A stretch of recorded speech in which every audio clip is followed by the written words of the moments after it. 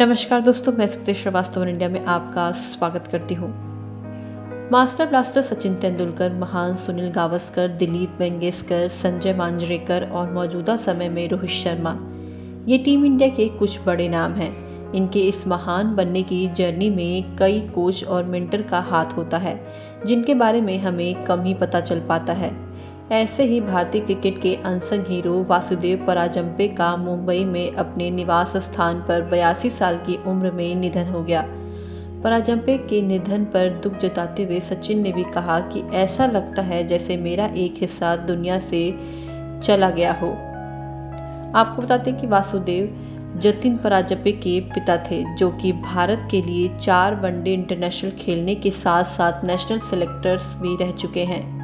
हालाँकि पराजपे का playing career छोटा ही रहा था।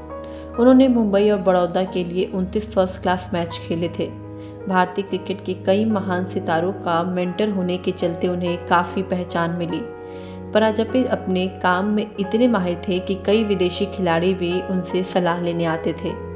बैटिंग तकनीकी को लेकर पराजपे की नॉलेज और खिलाड़ियों के अंदर से उनका सर्वश्रेष्ठ खेल निकालवाने की उनकी कला के सभी कायल थे। बता दें, सचिन तेंदुलकर ने भी पराजपे के निधन पर गहरा दुख जताते हुए उन्हें श्रद्धांजलि दी है। तेंदुलकर ने कहा है कि हम सभी उन्हें वासु सर के नाम से बुलाते थे। वो मेरे सबसे अच्छे कोचों में से एक थे। मेरी क्रिकेट जर्नी का अहम हिस्सा होने के साथ साथ वो कई मायनों में मेरे मेंटर भी थे। साथ ही सचिन तेंदुलकर ने बताया, मेरे करियर के शुरुआती दिनों में वो मुझसे मराठी में कहते थे।